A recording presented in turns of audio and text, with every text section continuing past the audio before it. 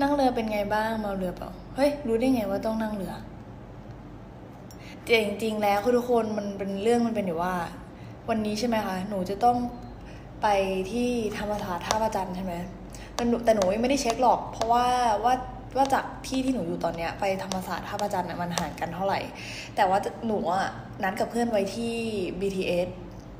สะพานตักสินใช่เสร็จแล้วพอดูแล้วอะ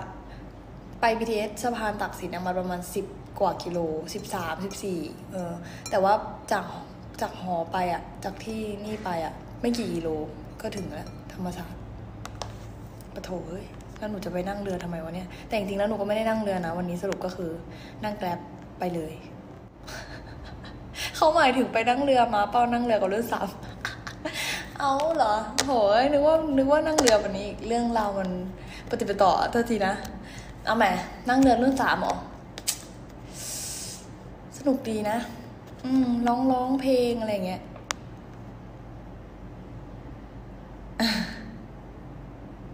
เป็นคนซื่อๆถูกต้องเป็นคนซื่อ